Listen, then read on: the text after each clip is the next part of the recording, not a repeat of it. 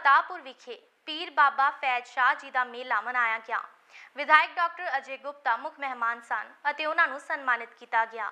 ਇਸ ਮੌਕੇ ਤੇ ਕਈ ਲੋਕ ਆਮ ਆਦਮੀ ਪਾਰਟੀ ਵਿੱਚ ਸ਼ਾਮਿਲ ਹੋ ਗਏ। ਸੁਰਜੀਤ ਸਿੰਘ, ਜਸਬੀਰ ਸਿੰਘ, ਸਨੀ ਸਹੋਤਾ, ਸੁਖਦੇਵ ਸਿੰਘ ਅਤੇ ਕਸ਼ਮੀਰ ਸਿੰਘ ਸਮੇਤ ਕਈ ਲੋਕ ਮੌਜੂਦ ਸਨ। ਮੇਰੇ ਨਾਲ ਮੇਰੀ ਪਾਰਟੀ ਦੇ ਬੜੇ ਸੀਨੀਅਰ ਵਲੰਟੀਅਰ ਸਨੀ ਸੋਤਾ ਜੀ ਜਿਹੜੇ ਕਿ ਬਲਾਕ ਪ੍ਰਧਾਨ ਵੀ ਨੇ।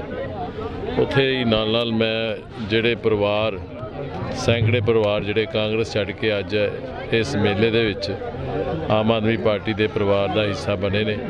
ਉਹਨਾਂ ਦੇ, ਉਹਨਾਂ ਦਾ ਵੀ ਮੈਂ ਸਵਾਗਤ ਕਰਦਾ ਹਾਂ। ਸੇਵਾਦਾਰ ਅੱਜ ਜਿਹੜੇ ਸ਼ਾਮਿਲ ਹੋਏ ਨੇ ਕਾਂਗਰਸ ਛੱਡ ਕੇ, ਉਹਨਾਂ ਨੂੰ ਵੀ ਅਸੀਂ ਬਹੁਤ-ਬਹੁਤ ਮੁਬਾਰਕਾਂ ਦਿੰਦੇ ਹਾਂ। ਇਸੇ ਗੱਲਾਂ ਨਾਲ ਅਸੀਂ ਬਹੁਤ-ਬਹੁਤ ਧੰਨਵਾਦ ਕਰਦੇ ਹਾਂ ਔਰ ਬਹੁਤ ਜਲਦ ਜਿਹੜੇ ਆਉਣ ਵਾਲਾ ਸਮਾਂ ਹੋਏਗਾ, ਮੇਰੇ ਖਿਆਲ ਨਾਲ ਜਿਹੜਾ ਵੀ ਕੈਂਡੀਡੇਟ ਅਸੀਂ ਇਸ ਇਲਾਕੇ ਨੂੰ ਦਵਾਂਗੇ, ਉਹ ਭਾਰੀ ਮਾਤਰਾ ਦੇ ਨਾਲ ਜਿੱਤ ਕੇ ਅਸੀਂ ਐਮਐਲਏ ਦੀ ਝੋਲੀ ਪਾਵਾਂਗੇ।